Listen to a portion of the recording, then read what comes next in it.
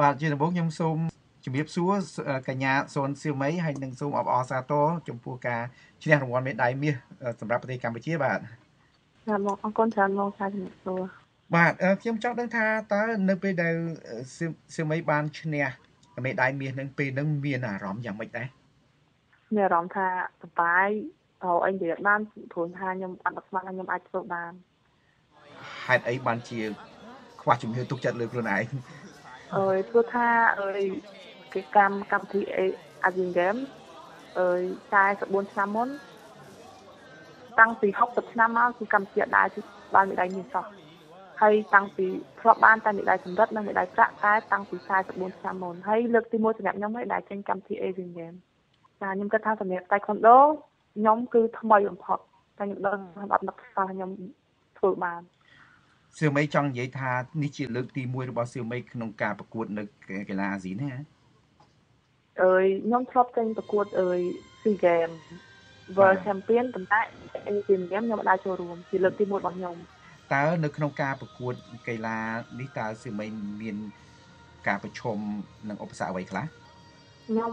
អឺប្រឈមនឹងដៃគូរបស់ខ្ញុំគឺគាត់ជាប្រទេសមួយដែលខ្លាំងហើយគាត់ក៏មានសមត្ថភាពខ្លាំងប្រហាក់ប្រហែលនឹងខ្ញុំ ចឹងខ្ញុំមានការពិបាកក្នុងការយកឈ្នះគាត់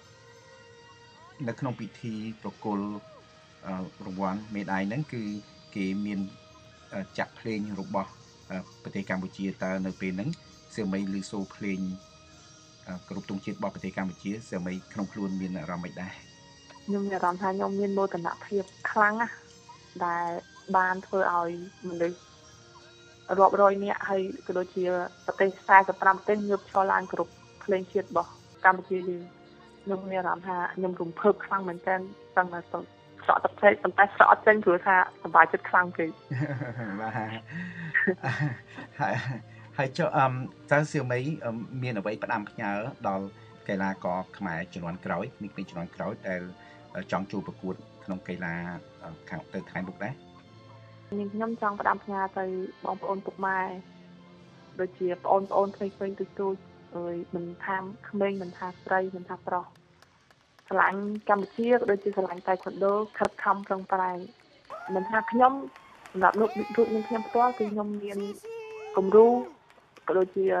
មនុស្សដែលលើកទឹកចិត្តនឹងខ្ញុំផ្ទាល់អញ្ចឹងខ្ញុំសង្ឃឹមថាអ្វីដែលខ្ញុំធ្វើនៅថ្ងៃនេះ ធ្វើដើម្បីជឿថ្ងៃនេះប្រកាសជាមានក្មេងៗចំនួនក្រោយក៏ដូចជាក្មួយៗខ្ញុំចំនួនក្រោយនឹងយកតំណបានខ្ញុំកម្ពុជាគឺជាប្រទេសដែលទូប៉ុន្តែកម្ពុជាមានសមត្ថភាពខ្លាំងក្នុងការដណ្ដើមយកមេដាយជូនជាតិនេះបាទជាចុងក្រោយតើកញ្ញាសឿមីមានអ្វីទៀតដែរមុននឹងយើងបញ្ចប់បាទចង់បញ្ចប់ខ្ញុំគ្រាន់តែមានពាក្យថាអរគុណដល់ប្រជាពលរដ្ឋ